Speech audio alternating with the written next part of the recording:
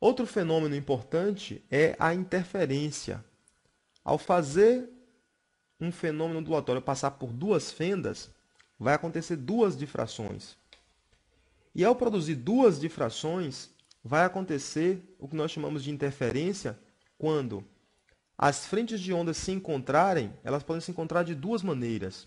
Elas podem se encontrar em fase, e toda vez que elas se encontram em fase, a interferência é construtiva. Toda, todas as vezes que elas se encontram com inversão de fase, a interferência é destrutiva.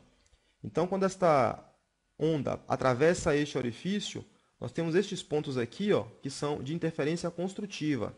E esses pontos aqui, que são pontos de interferência destrutiva. Na figura seguinte, estas interferências vão ficar bastante claro para vocês. Aumentamos aqui o número de pessoas, no momento são 18, 18 pessoas conectadas. 21 horas e 51 minutos. Vamos dar continuidade. A interferência construtiva ela pode ser interpretada assim: você tem um fenômeno ondulatório, tem um outro fenômeno ondulatório.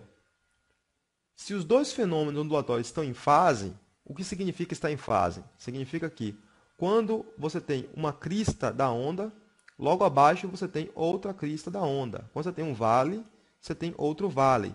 Então, ao estar em fase, significa que as duas ondas estão alinhadas coincidindo crista com crista e vale, vale com vale. Se isso acontece, as ondas estão em fase. Se elas estão em fase, as duas ondas vão se somar. E se somando, vão produzir uma outra onda com amplitude maior. Então, somando uma onda com outra onda, se elas estão em fase, nós temos o que chamamos de interferência construtiva. O que nós chamamos de interferência destrutiva é quando você tem uma onda, na sequência você tem outra onda, só que neste caso a crista de uma onda vai coincidir com o vale da outra onda. A crista desta coincide com o vale desta. Neste caso, as ondas estão no que nós chamamos de oposição de fase. Então, quando você somar esta onda com a onda de baixo, o resultado é interferência destrutiva, ou seja, você não teria onda nenhuma.